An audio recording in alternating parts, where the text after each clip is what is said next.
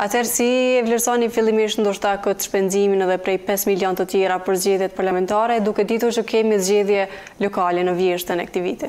Po, në rend të parë duhet të kuptohet që edhe ekonomitë më stabile, qoftë në rajon, qoftë në Evropë, nuk e kanë komoditetin që brenda pothuajse një viti kalendarik t'i kenë dy palë zgjedhje apo tri qeveri. Në rend të dytë, është e vërtetë që këto zgjedhje e kanë koston e vet dhe këtu zakonisht flitet për atë sa kushton Komisioni Qendror Zgjedhor, që janë afër shtatë milionë euro, mirëpo ekzistojnë kosto tjera, të cilat vërtetë e rëndojnë situatën dhe aspektin social në Kosovë. Në rend të parë duhet të kuptohet që vetëm votimi i diasporës kushton dikun afër gjashtë milionë euro. Në rend të dytë duhet të kuptohet që janë më tepër se një mijë e shtatëdhjetë e nëntë kandidatë për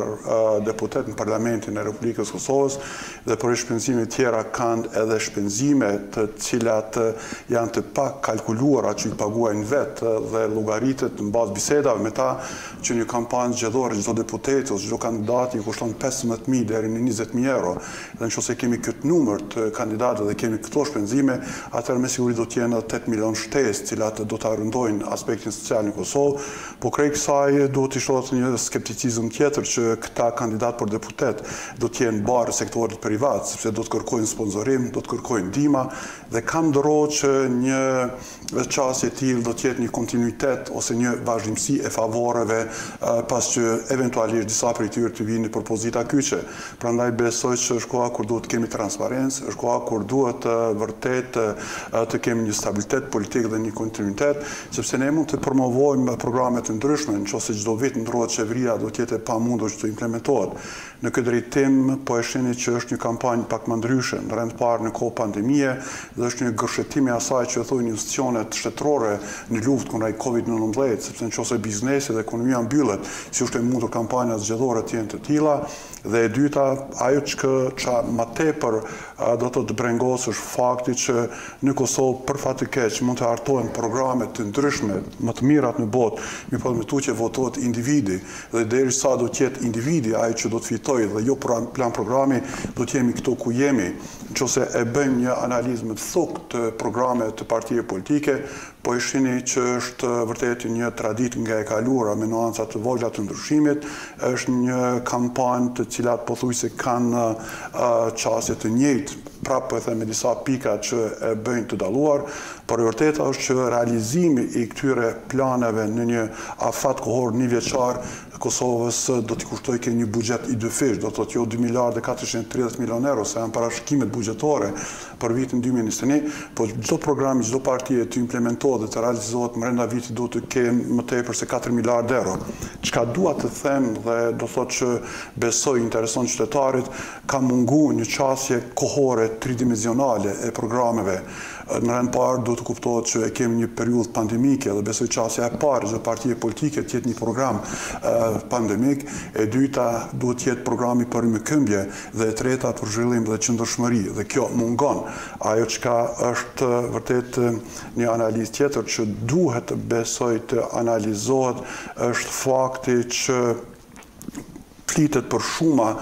marramendëse. Si i keni parë këto premtime ekonomike të partive politike, sa janë të realizueshme? Po në... Secila prej tyre përmend miliarda investime? Definitivisht jemi në kampanjë zgjedhore dhe një gjë e tillë është dokumentuar në të kaluarën, premtimet janë të tilla dhe në këtë drejtim besoj që qytetari është mësu dhe në këtë drejtim besoj që edhe partitë duhet të jenë të kujdesshme, sepse qytetari nuk harron, qytetari kujton dhe qytetari ndëshkon dhe dënon. Prandaj në këtë drejtim gabimet e sodit do të jenë vërtet fatale për partitë, sepse votuesi i kujton premtimet e parealizuara dhe vetë fakti që po e them edhe më tutje, votohet individi ose simpatia ndaj individit dhe jo ndaj programit është një defekt dhe duhet të themi me Po e them me përgjegjësi që vitet e pasluftës në Kosovë shumë ma tepër kanë fitu individë ose personalitete politike me autoritetin e vet, se sa që janë mbështetë dhe përcjellë programet ekonomike të prezantuara në kampanjat zgjedhore. Kemi premtime për rritje të pagave, rritje të pagave të sektorit publik, sektorit privat, të arsimit,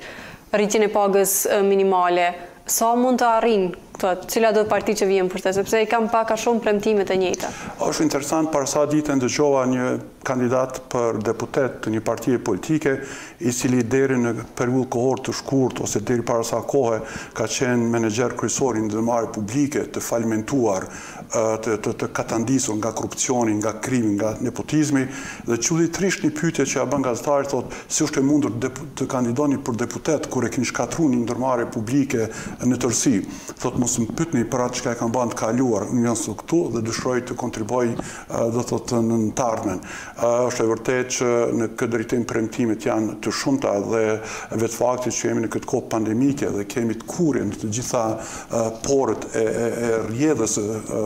aspektit financiar në Kosovën, do të jetë e pamundur për t'u realizuar. Është duke u luajtur një kalkulim, ju e dini që me ligjin mbi financat publike, Kosovës i lejohet rritja e borxhit publik deri në katërdhjetë përqind. Mirëpo me pakon për rikëmbje ka ndryshuar një një përqindje e tillë dhe sot është pesëdhjetë përqind dhe të gjitha kalkulimet janë në rritjen e borxhit publik. Mirëpo nuk është zgjidhje, neve na duhen indikatorë shumë më substancialë në këtë drejtim, Duhet të kemi punësim, duhet të kemi rritje të eksporteve, duhet të kemi investime të huaja, duhet të kemi përmirësim të imazhit dhe gjitha këto nuk janë duke ndodhur. Mirëpo, çka e bën karakteristike, do të thotë këtë kampanjë, që të gjithë mirren me cifra pompoze, gjithë e kanë atë qasjen perifere, po askush nuk e prek problemin aktual me të cilin ballafaqohet qytetari i Kosovës. Nuk e pashë ndonjë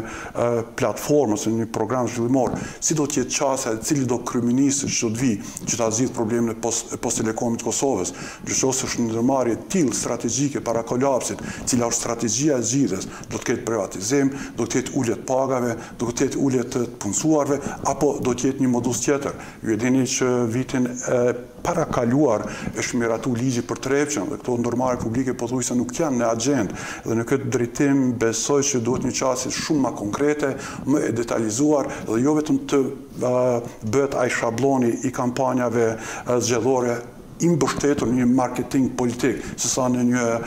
do të thotë zgjidhje substanciale. Në këtë drejtim besoj që është koha për pragmatizëm, është koha për konkretizim, sepse qytetarët e presin, zhgënjimi është shumë i madh. Por po pajtona me ju me këtë pyetje të premtimeve, duhet të kuptojnë të gjithë liderët që garojnë për të parin e Qeverisë së Kosovës, që sa më të mëdha janë premtimet, doza e zhgënjimit është shumë më e madhe, Sot mund të mashtrosh, po nesër do të jesh i gjykuar dhe i penalizuar dhe në këtë drejtim nuk duhet të luhet me ndjenjat e qytetarëve të Kosovës. Kan përjetu që njëzet e një vite vërtet një një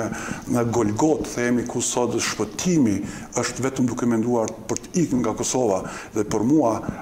patriot modern ose patriot i Kosovës moderne është ai që kontribon ndaljen e të rive në Kosovë dhe jo ikja të jetë e vetmja shpresë që i përcjell qytetarët e Kosovës.